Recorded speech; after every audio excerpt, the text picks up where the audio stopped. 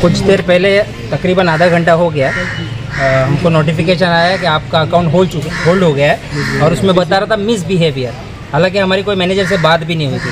और अभी इसमें बता रहा है account hold due to strike अब बता रहा है कि स्ट्राइक की वजह से होल्ड हुआ है। इससे पहले उन्होंने मिस बिहेवियर की वजह से होल्ड किया और स्ट्राइक तो हमने किए नहीं हम हमारे हक के लिए लड़ रहे हैं। और दूसरी बात मैनेजर से बात भी नहीं हुई हमारी। फिर भी हमारा होल्ड क्यों है। काफ़ी लोग हैं, उसमें से पाँच छः लोगों को सिलेक्टेड को बंद कर दिया ताकि वो समझ रहे कि नस को पकड़ ले, बाकी सब ढीले हो जाए। पर इंशाल्लाह ऐसा नहीं होगा, सब एक साथ लड़ेंगे। सर, आपका नाम? बात की हम लोग आईडी बंद करती है उसके लिए क्या इनके बगैर बात की आईडी सर, इनका कुछ प्रॉब्लम है? आप आप कुछ बोलना चाहेंगे हमारे कैमरे पर? कर दी सर, आप कुछ बोलना चाहेंगे हमारे कैमरे पर? इनका कुछ प्रॉब्लम है। टीम ने बात नहीं करी आईडी कैसे नमस्कार अस्सलाम आदाब। मैं हूँ यूसुफ अली। आप देख रहे हैं लाइव। आइए नज़र डालते हैं आज की खास खबर पर। दोस्तों, इस समय हमारे देश में प्राइवेटाइजेशन की बात काफ़ी होती है। बोलते हैं प्राइवेट सेक्टर में लोगों को काफ़ी फ़ायदा होगा। लेकिन प्राइवेट सेक्टर की कंपनियाँ किस तरह से लोगों का शोषण करती है, ये हम आप दिखाने आए हैं। हमारे पीछे आप देख सकते हैं हमारे साथ ब्लिंकिट कंपनी जिसके आजकल काफ़ी एड एडवर्टाइजमेंट टीवी पर देखने को मिलते हैं। एक इनका वृद्ध की भी है, डिलीवरी इन मिनट्स। कुछ मिनट में डिलीवरी करती है। उस ब्लिंकिट कंपनी में काम करने वाले लोग हमारे साथ यहाँ है।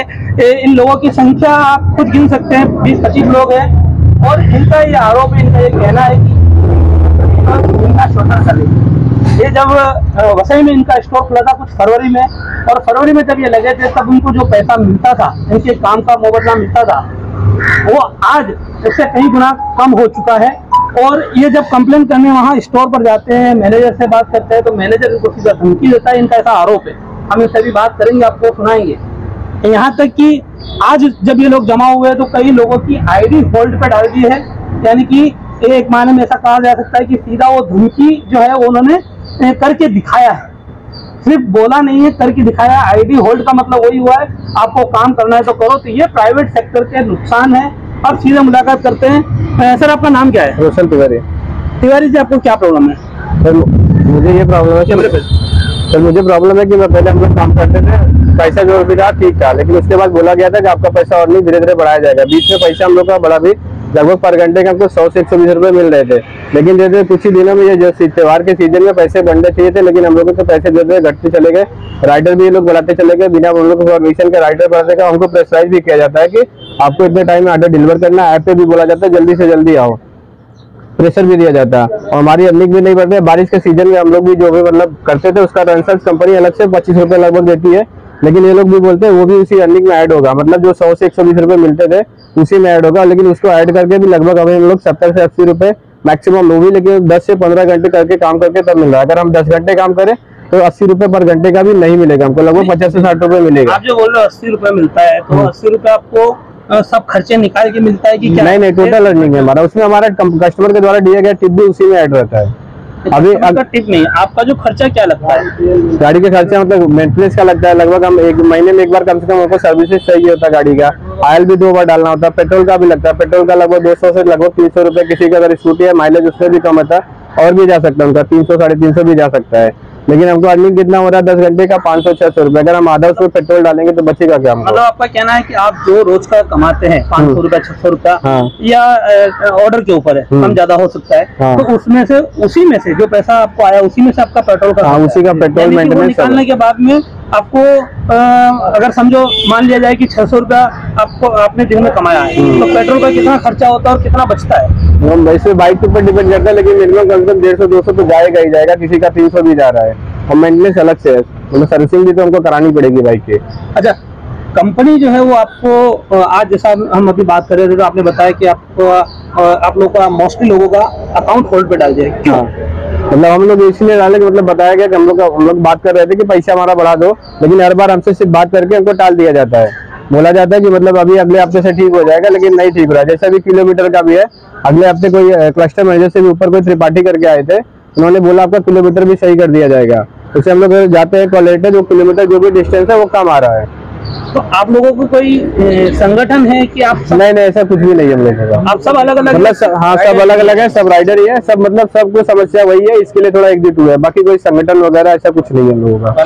ना यूनियन है। आज जब आप ऐसा संगठित हुए तो उन्होंने सीधा आपके साथ में इस तरह का व्यवहार किया अभी कोई अभी कोई भी किसी से मतलब मैनेजर से या किसी से भी कोई बात नहीं हुआ है फिर भी कुछ लोगों का जो है की मिसबिहेवियर डाल के आईडी बंद कर दिया गया है। आपकी मांग क्या है? मांग यही कि हमको लगभग सौ रुपए पर आवर का दे दिया जाए। सिक्योरिटी जैसे हमने हम बारह घंटे काम करते हैं बारह सौ तो बने हमारा। क्या कहना चाहते आपका नाम क्या है? हाँ जी। अनिस हाँ। क्या कहना चाहते हो मैं बोल रहा हूँ। कम से कम अगर हम बारह घंटा काम करते हैं तो बारह घंटे हमारा बारह सौ तो बने। हाँ। ये मांग है आपकी। जी। और हो क्या रहा? अभी कितना मिलता है आपको? अभी बारह घंटे में हमारा आठ सौ भी नहीं बनता है साढ़े सात सौ सात सौ ऐसा बनता है उसमें पेट्रोल का खर्चा भी निकाले क्या बनता है? बारह घंटे में पाँच सौ रुपये हमारा बचा वहाँ एक जन कैमरा घुमाइए। अभी हम राइडर्स में मेरा नाम सूरज मिश्रा है मैं ब्लिंकिट में डिलीवरी जॉब का काम करता हूँ। अभी हम राइडर्स लोग सुबह आए तो हम लोग काम किए। दो चार पाँच ऑर्डर जो लगा हमारे तो सब लोग पे आउट कम मिल रहा था। सब लोग क्या बोले भाई आने दो मैनेजर से बात करते हैं क्या है क्या नहीं? तब तक सब लोग बैठो। सब लोग अपना अपना राय देंगे। तो मैनेजर आया हम लोग को बुलाया तो हम लोग गए तो हम लोग को बोलता है एक एक जन के तुमको करना है कि नहीं करना है? नहीं करना है तो तुमको निकालूँगा, तुम्हारी आईडी पर टर्मिनेट करूँगा। अभी मेरी आईडी खुद का होल्ड किया है। मैंने बोला, वो बोला, मेरी देखिए, मेरी आईडी मेरे खुद का आईडी होल्ड किया है। आईडी आईडी होल्ड करने का रीजन क्या है बोलते हैं मिसबिहेवियर मैंने अपने हक के लिए मैंने बात किया। मैंने कहा, सर, मेरे हक का पैसा तो मिलना चाहिए। मैं अपना फैमिली सोलह सौ किलोमीटर छोड़ के मैं इधर मुंबई शहर में कमाने आया हूँ। यहाँ नहीं पड़वरेगा तो वहाँ करेंगे। जहाँ हम लोग को कुछ पैसा मिलेगा वहाँ हम लोग काम करेंगे।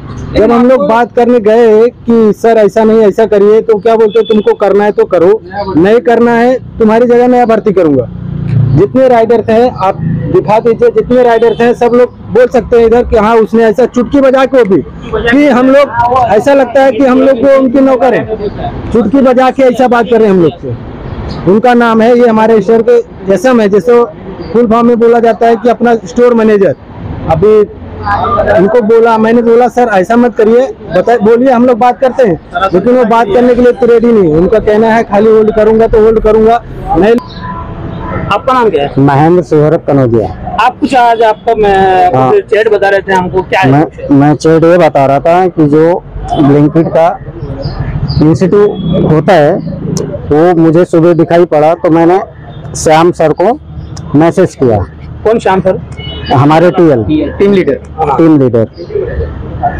Team leader. को मैंने मैसेज किया तो उन्होंने मुझे रिप्लाई में मैं उनसे यही पूछा कि ये क्या ठीक है? उधर देख के बात ये इंस्टीट्यूट है हम लोग का। मतलब कितना आप करेंगे तो कितना इंसेंटिव मिलेगा? क्या? पहले ऐसा नहीं था। नहीं अभी जो ये बता रहे हैं उसमें कितना आप राइड करेंगे तो कितना इंसेंटिव मिलेगा? क्या उनका प्लान है? उनका प्लान यही है कि जो कि इंस्टीट्यूट बहुत कम दे रहे हैं। और उनसे यही चीज़ मैं पूछा हूँ कि क्या ये चीज़ ठीक है राइडर के लिए? उनका जवाब उनका जवाब उन, उनका जवाब भी आया है सर उनका जवाब आया है। पर्सनल आया है। मेरे मोबाइल पे कि ये राइडर के लिए ठीक नहीं है। क्या है हाँ। ठीक। है अभी आपका नाम क्या है? जी मेरा नाम अदनान शेख है। मैं यहाँ पे एक राइडर का काम करता हूँ। हमारा कहना ये है कि हमारे लिए अर्निंग सबसे पहले बढ़ाया जाए। सबको दिक्कत इस बात की हो रही है कि हम यहाँ पर 12 से 14 घंटा काम करें धूप में।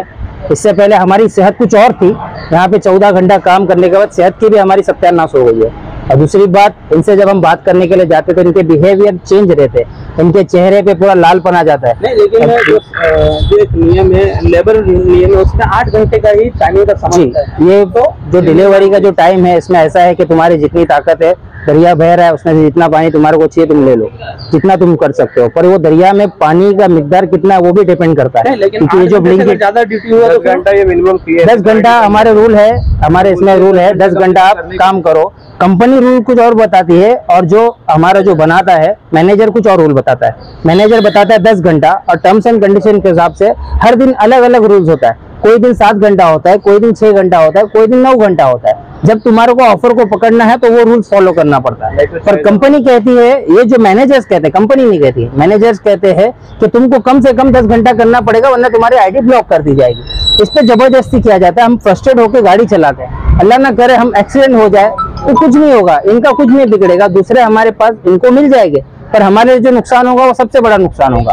आज सुबह मॉर्निंग की बात है कि हम यहाँ पर आके ऑर्डर्स लेने लगे तो हमने ऑफ़र देखे कि उसमें लिखा है दो सौ बीस रुपए पे उन्नीस सौ रुपया मिल रहा है। जहाँ पर तीन हज़ार रुपया दिया जाता था, वहाँ पर उन्नीस सौ रुपया दिया जा रहा है। तो उन्नीस सौ रुपया हमारे लिए काफ़ी नहीं है और दो सौ बीस तक हम पहुँच भी नहीं पाएँगे, क्योंकि राइडर्स उन लोग ने इतने भर लिए हैं, हज़ार ऑर्डर्स में नब्बे राइडर्स है। डिवाइड भी करते हैं तो एक के हिस्से में बारह से पंद्रह ऑर्डर आते हैं, वो भी बारह घंटे, तेरह घंटा करने के बाद, और उसमें तीन सौ से चार सौ रुपया मिलेगा। पंद्रह ऑर्डर मारेंगे तो तीन सौ से चार सौ रुपया मिलेगा और हमारे पास हम घर ले जाएँगे सौ रुपया। उसमें दो सौ रुपये का पेट्रोल डालेंगे। और सौ रुपये में हम, हमारे तीन बच्चे, उसमें कुछ भी नहीं होने वाला। ना हमारा होगा, ना कुछ होगा। पिछले दो हफ़्ते से मेरी तबीयत खराब है, दोनों हाथ की हड्डी बाहर आ गई है। मैं गिर चुका हूँ, मेरे पैर में भी लग गया पर मैं, मेरा इलाज नहीं करवा रहा हूँ। यही रीजन से कि यहाँ से पैसा नहीं मिल पा रहा हमें। उतने मिकदार में हमें पैसा नहीं मिल रहा, जितनी हमें ज़रूरत है। कम से कम हज़ार रुपये हम घर ले जाएँगे तो हम, हमारी सेहत का भी ध्यान रखेंगे। हमारे बाल बच्चों का भी ध्यान रखेंगे मैनेजर का मिस बिहेवियर ऐसा है कि वो सुबह आके गाली दे रहा है गलत यूज़ कर रहा है चुटकी बजा के बोल रहा है कि अब मैं एफओडी लूँगा। एफओडी का मतलब होता है मैं भर्ती करूँगा। अब तुम जो कर से कर, सक, कर सकते हो कर लो मैं भर्ती करूँगा। ये गलत यूज़ किया है। दूसरा हमारा जो मैनेजर है उससे ऊपर मैनेजर है वो क्लस्टर मैनेजर है वो भी मिसबिहेव करता है। उसने आते ही साथ हमारी आईडी होल्ड कर दी है। हमारी मैनेजर से कोई बात नहीं अभी तक हम स्टोर पे जाके मिले भी नहीं है। उसके बावजूद भी मिसबिहेवियर बताया है। और हमारे आईडी को बंद कर दिया गया। ये देखिए सर हमारी आईडी बंद हो चुकी है। यहाँ तक कि हम अभी तक मिले नहीं है किसी से भी। ये सर क्या नाम है आपका? मेरा नाम हरीश कारेलिया है। आपके हाथ पे और ये सब क्या हुआ? है ये मैं काम कर रहा था ना तो गिर गया था। कभी की बात है? ये रिसेंटली दो तीन दिन पहले की। फिर भी आप काम पे आ गए? हाँ सर। तो ये काम करना ज़रूरी है और दूसरा दस घंटा बारह घंटा करते तो हज़ार रुपया भी नहीं मिलता। हम लोग ने बहुत बात की है मैनेजर से बट वो बोल रहे कि ऐसा ही होगा जैसा करना है तो करो नहीं करना है तो कुछ नहीं। आप जा सकते हो। ये लगा था मुझे तो मैंने उनसे मेडिकल किट भी मांगा था तभी उनके पास वो नहीं था दवाई था लेकिन क्या बोलते हैं फ़र्स्ट एड पूरा अवेलेबल नहीं था पूरी किट अवेलेबल नहीं थी फिर मैंने मेरे पैसे से लिया और मैंने किया। तो ये हमने आपको बात करवाई अलग अलग कई लोगों से आपने सुना कैमरे पर कि क्या कुछ इनका कहना है एक भाई है उनको अ, उनका एक्सीडेंट भी हुआ उनको लगा भी और उन्होंने यहाँ तक कहा कि फ़र्स्ट एड तक यहाँ मौजूद नहीं है। तो ये फ़र्स्ट एड किट तक नहीं है और काफ़ी कुछ है।